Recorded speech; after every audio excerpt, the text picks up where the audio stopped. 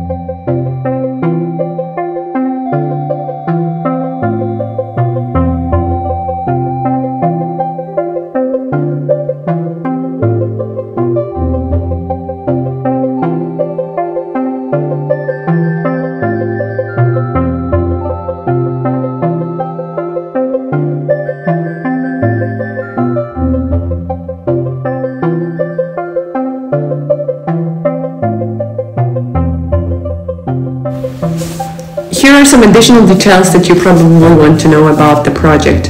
There will be two types of villas, three-floor villas and another four-floor villas. Three-floor villas, they will be one, 132 square meters and the price per square meter will be 1,200. This leaves us with total 100 58,400.